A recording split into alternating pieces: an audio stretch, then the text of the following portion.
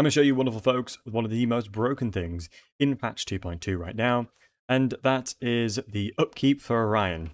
As we can see right here, we have 1748 upkeep. I'm going to do a bit of a magic trick and get back to you guys. And the magical trick has been done. My entire army is now free, and it is still turn 1. So folks, if you want to have a completely free army by turn 1, well, all you got to do is declare war on everybody for the low, low price of murder, which actually, in fairness, is very, very theatrical towards Orion. He is an absolute psychopath. Uh, but yeah, so folks, um, this is changes that's happened to Orion. So effectively, each, war you get into, uh, it reduces your cost of Orion's army by 8%. So all you have to do is declare war on uh, 13 people. And then um, your upkeep for additional armies is minus 4%.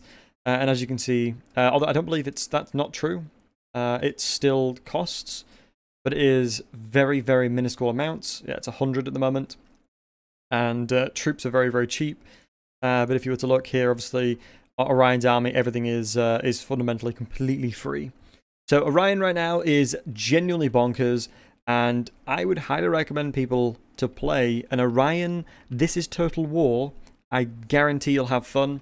Uh, I'm actually doing that on stream at the moment, and so far having crazy amounts of fun just murdering loads of people uh, with super cheap armies.